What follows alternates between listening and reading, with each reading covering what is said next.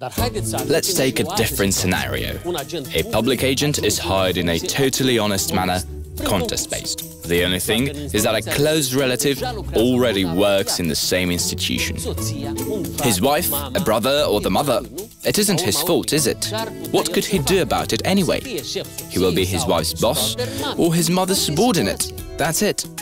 When his wife will be missing at work while getting a manicure in a beauty salon, or when his mother will add up monthly bonuses to his salary, he won't even notice. In the end, he isn't the enemy of his own family, is he?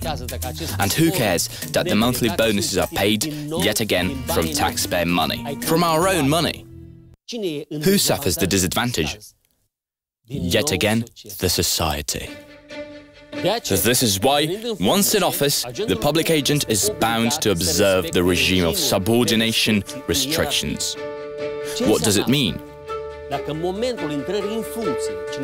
at the time of assuming the new job, a direct relative of the public agent is already working in the same place and is going to be his superior or subordinate, the public agent must take a decision.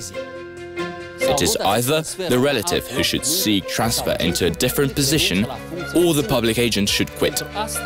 For this kind of decision, a two-month span is available by law. The rule applies throughout the entire period of employment. Observance of this rule secures the preeminence of the public interest over the private ones. Should the public agent disregard the rule, he will easily find himself in situations of favoritism, conflict of interest, and abuse of office. And remember, integrity is freedom.